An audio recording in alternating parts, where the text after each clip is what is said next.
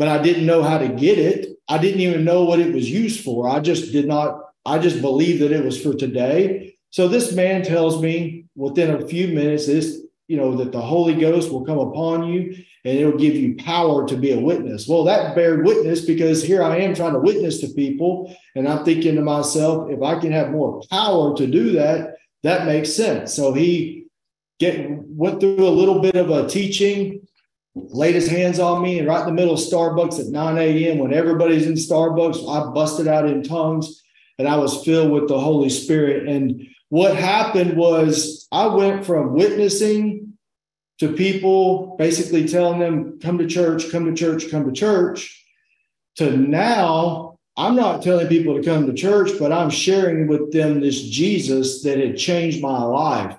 I'm sharing with them through the power of the holy of the of the of the word of God what God had done for me. And so when I got baptized with the Holy Ghost, the Bible says that you'll be a witness. It'll be empower you to be a witness. That's exactly verbatim what happened to me. My message went from come to church to meet this Jesus that met me in a jail cell and that can do anything for you. If he'll do it for me, he'll do it for you.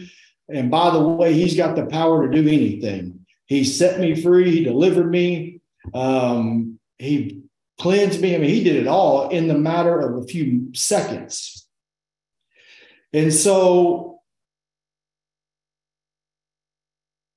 with that power, with that burn in me, we just started going to the worst streets in Dallas. We'd go out to the bus stops where they peddle drugs and they move drugs around. And we would just share the gospel with them. Um, we had, and I didn't know a lot about the Bible. I'm a year into this. The Bible I knew is just the Bible that I had read. I'd go to church, but we didn't have Bible studies and it was pretty much just me and a couple of guys that were all coming from a life of destruction and despair, sitting around just reading the Bible, trying to make sense of it. And we would, you know, get a hold of something and we would study it out, but it was minimal. And so we would go out to this, to the streets and share what we had. And I can remember people getting saved, people uh, handing us their drugs. We would throw them into the dumpster. It was just, it was unbelievable watching what this power that God had put inside of us was doing. And with no knowledge, with no understanding, very little at, at best, God was moving. And it's the same way he did with me when I was in jail. I, I was a nobody, a nothing. I had nothing. I, I my thoughts were wrong, but he came in and gave me this gift, free of anything I could do. And it just it was mind blowing to me. I got through Bible school, and right at the tail end of my Bible school, I met my wife. Um, I was 26 years old at the time.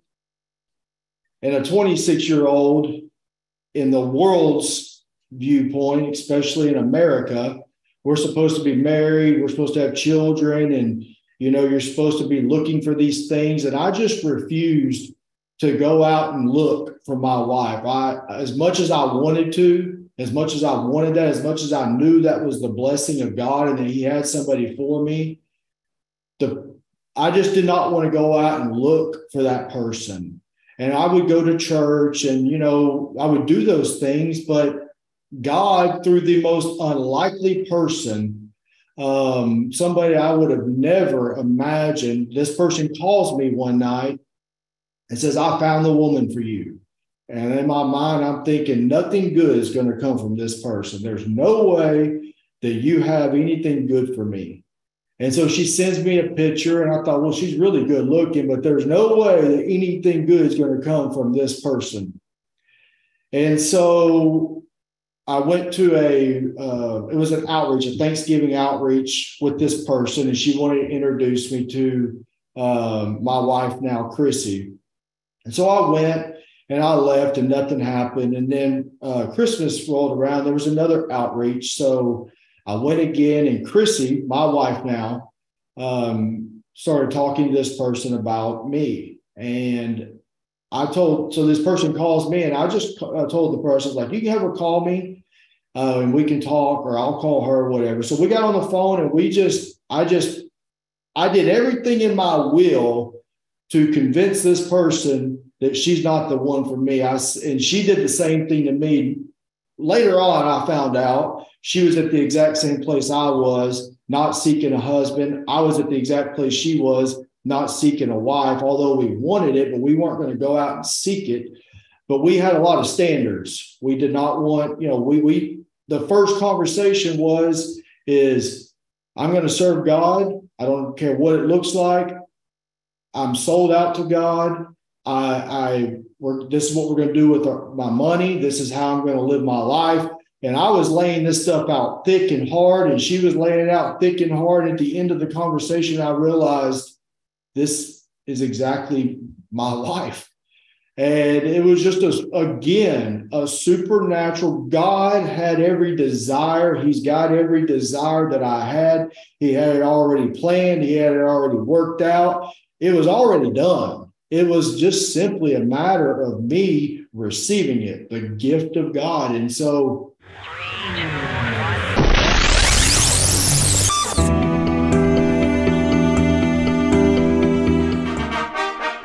He's coming.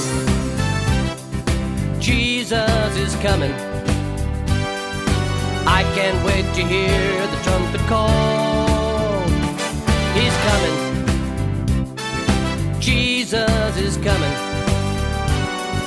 When he comes, we'll crown him Lord of all.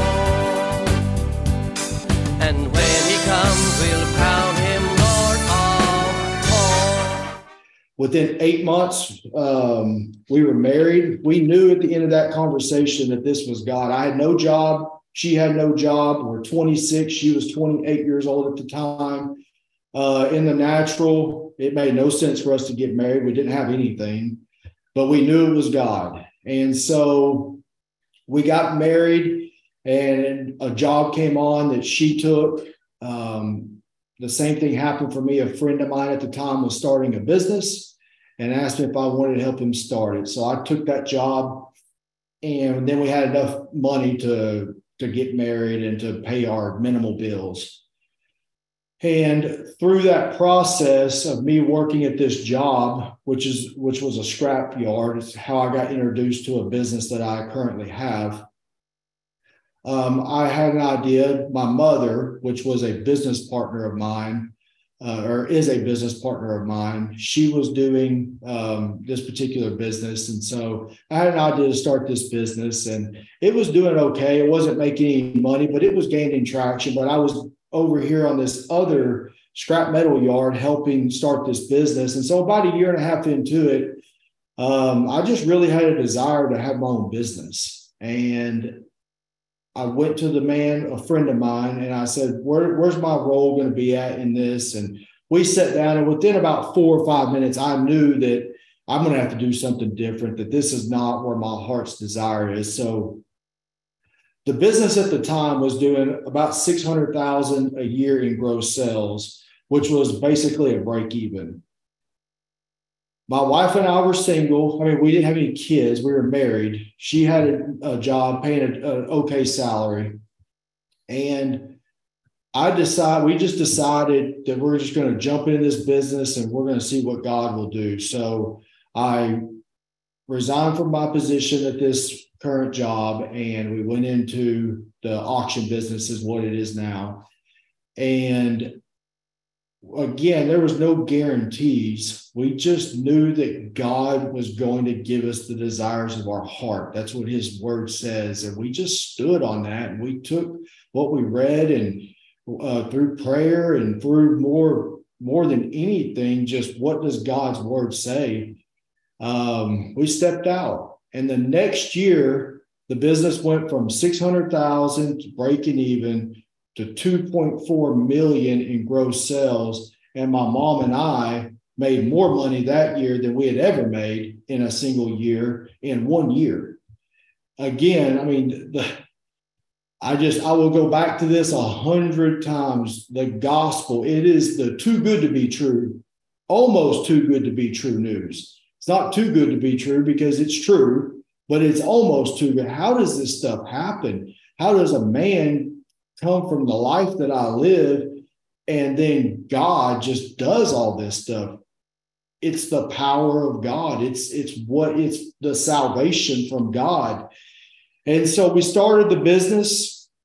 It went through the roof. The following year, it went to 3.5 million in sales. During this time, my wife and I decided we wanted to have a baby, and my wife couldn't get pregnant. Uh, we tried for two years. We started thinking, well, should we go to the doctor? Should we do some procedures? That's really expensive. Um, it was like fifty thousand um, dollars, and at that time, that was a lot of money, especially when you're broke. And so, I I don't know that we even really prayed about it. We just knew that this was the promise of God, that God's promise was for us to have children. And we stood on that. And it was two years into it, and we were at a church service. My wife was on the altar team, and she's up there praying for a lady.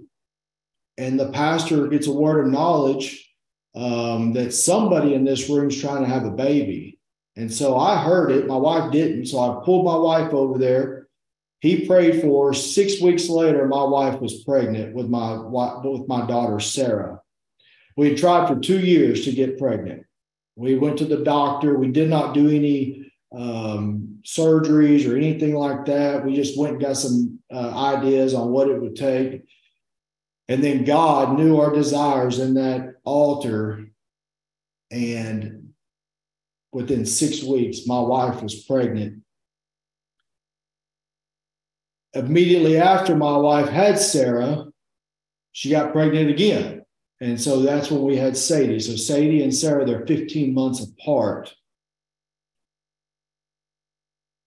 Uh, through this, right after Sadie was born, or right before Sadie was born, I went back into the scrap business, um, still having my uh, auction business, um, the scrap metal business. And the stories are wild, but God just was in it. Um, he blessed our socks off. Currently, today, uh, total combined revenue for my businesses is about $20 million. You know, I was doing some numbers the other day. Uh, it we revenue about $78,000 a day. I, it costs me $8,000 a day just to wake up. That's what my costs are. And that's overwhelming. I am not smart enough to do this. I don't have the ability to go out and make this stuff happen. And in the natural, I could get overwhelmed quick, but I already know that it's not me doing this. I'm in the business world. I'm not a pastor. Um, I do minister uh, as I am now from time to time, and I share things like this I'm called to be in the I'm in the business world and the power of God, whether you're a preacher.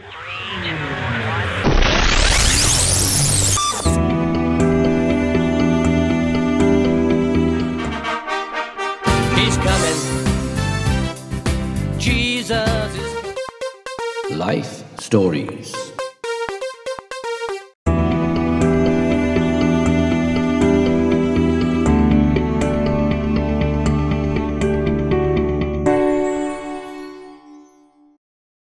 whether I'm in the business world, if I'll just find where I'm supposed to be at, and if I'll stay in that lane, and if I will apply these this word of God, the the gospel, the almost too good to be true news.